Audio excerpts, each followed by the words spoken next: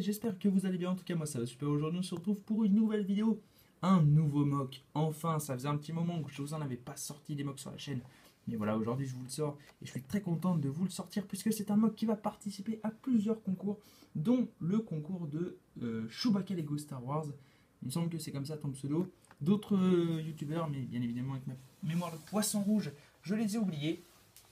Alors c'est un mock euh, épisode 2 tiers, enfin c'est un mock Clone Wars, euh, qui se situe sur Hoth. Voilà, planète qu'on voit pas beaucoup euh, dans Clone Wars, mais je, pense que certains clones y sont allés. donc, du coup, c'est un. Puisqu'il fallait qu'on fasse un, un, mock Clone Wars, et eh bien j'en ai fait un. C'est un mock donc, qui est plus grand qu'une plaque 32 par 32, mais ça vous en avez l'habitude avec moi. Et voilà, je crois que j'ai à peu près tout dit. Donc on va commencer par le champ de bataille habituellement. Alors, vous avez ici sur le flanc gauche 4 super druides de combat et 2 druides de combat qui sont en train d'attaquer la porte dans le but d'essayer de la détruire. Donc le flanc gauche. Euh, sur le milieu, vous avez le petit set, donc euh, un truc Battle of Hoth, je crois que ça s'appelle comme ça. C'est un set qui a normalement avec les rebelles, mais là je l'ai utilisé pour ma base de Hoth. Donc vous avez ici un pauvre clone qui s'est fait tuer et qui est en train de se faire mitrailler la tête par cette horrible super droïde de combat qui est vraiment en train de lui dégommer le visage. Donc là, l'arme du clone qui est tombée. Ici, vous avez mon super, euh, mon super, mais c'est pas mon super, c'est mon général droïde, mais que je vous présenterai juste après. C'est le custom qu'il fallait faire. Et sur le flanc gauche, vous avez une, autre section de droïde qui attaque le petit monticule de neige que je vous présenterai tout de suite après. Et ici, vous avez Asokatano qui a sauté sur le canon et qui va aller buter ce droïde. Alors, mon général droïde complètement badass, je vous le présente. Je ne lui ai pas donné le nom, si vous voulez lui en donner un, n'hésitez pas à le faire dans les commentaires.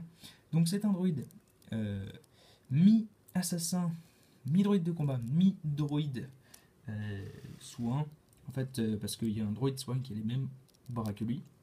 Donc une tête de super droïde de combat avec le haut chromé. Dommage que cette petite pince ne soit pas de cette couleur là parce que ça aurait été vraiment stylé. Mais deux bras gris et deux guns. Voilà. Donc euh, je le trouve vraiment stylé. Une petite antenne de communication derrière. Il est badass à souhait. Euh, ici donc vous avez le hangar, c'est la petite... Excusez-moi, je réfléchissais à ce que je voulais dire. Euh, vous avez le petit hangar avec Obi-Wan Kenobi donc qui tient son sabre laser allumé et en train de parer des tirs, qu'on ne voit pas, ils sont fictifs bien évidemment, essayez de les imaginer. Et ici une petite bombe, euh, donc semi-petite bombe, j'aime bien les faire comme ça. Euh, mais c'est vrai qu'elles sont très grosses. Ici vous avez un clone euh, qui tient un blaster et donc qui, qui s'est caché et qui est en train de tirer sur les droïdes. Et ici un autre clone encore plus caché qui est en train de tirer sur les droïdes. Ici, vous avez deux clones euh, des mineurs, il me semble, qui sont en train de courir vers leur motojet, alors qu'un autre clone est monté sur la sienne. Et donc, en fait, vous êtes ici dans le hangar, où il y a deux motojets, on peut en ranger deux. Euh, donc, un petit hangar plutôt stylé, j'aime beaucoup l'ouverture.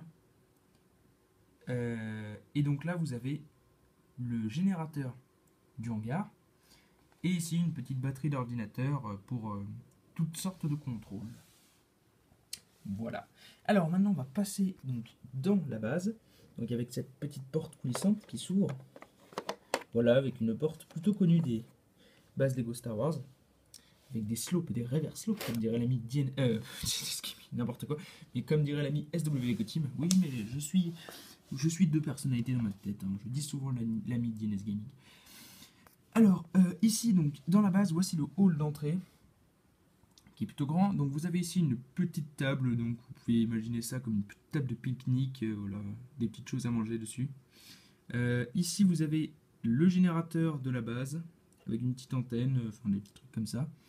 Là vous avez le panel de contrôle qui sert à ouvrir la porte, un clone gunner, un clone normal, ici un autre clone, et encore un clone, mais ça c'est un clone sergent.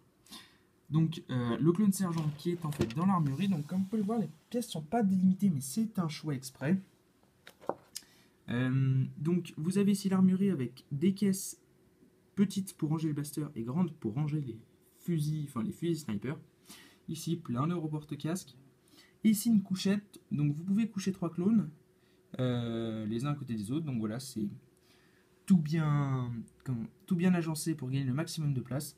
Et donc une petite cloison qui le sépare de, du hall principal. Donc voilà, qui est plutôt grand. Et ici, vous avez un petit couloir surveillé par un clone de Wolf qui mène, je vais vous montrer tout de suite, et hop là, qui mène ici dans la salle de commande. Et oui, c'est la seule salle qui manquait à cette base.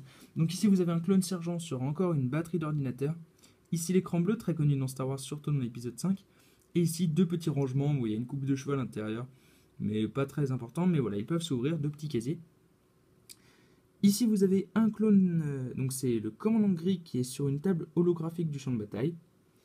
Là, vous avez commandant Wolf qui regarde avec lui, ils sont sûrement en train de discuter de stratégie pour pouvoir repousser les droïdes, parce que là, en ce moment, les clones sont mal en point, ils sont vraiment cernés de toutes parts. Ici, vous avez un clone, alors ça, c'est un clone pilote, qui appelle des renforts donc, par cette table holographique, et les deux, antennes, servent de micro. je trouvais ça plutôt pas mal.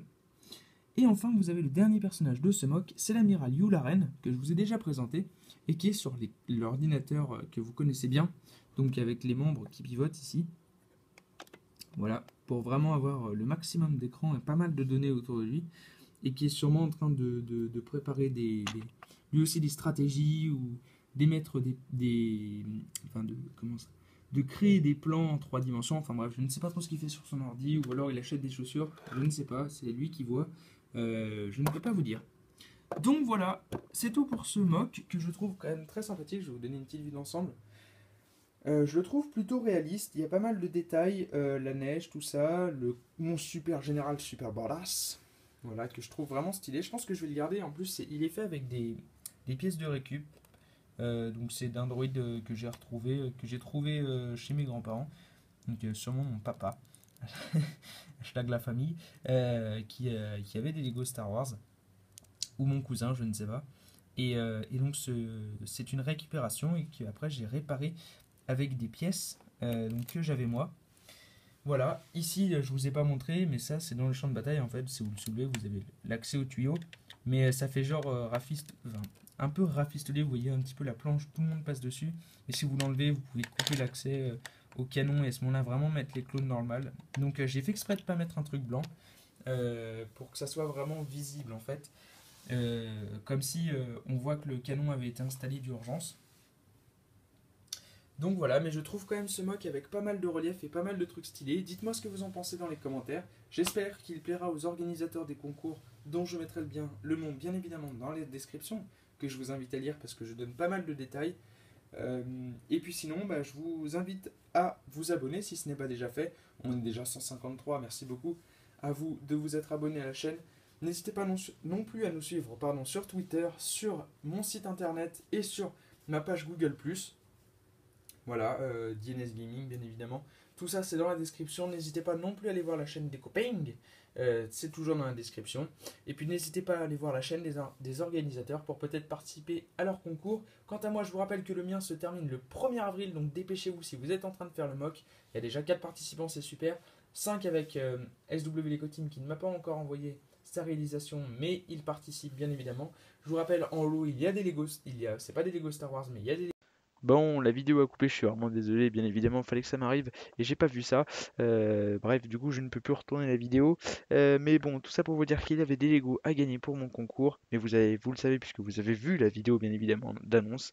Donc voilà, c'était juste ce que je voulais rajouter. Je vous fais de gros bisous. Abonnez-vous, laissez un, petit commentaire, un petit pouce bleu. Ne léchez pas les commentaires ni les petits pouces bleus. Léchez des sucettes, c'est toujours meilleur. Gros bisous à tous et à la prochaine. ciao, ciao.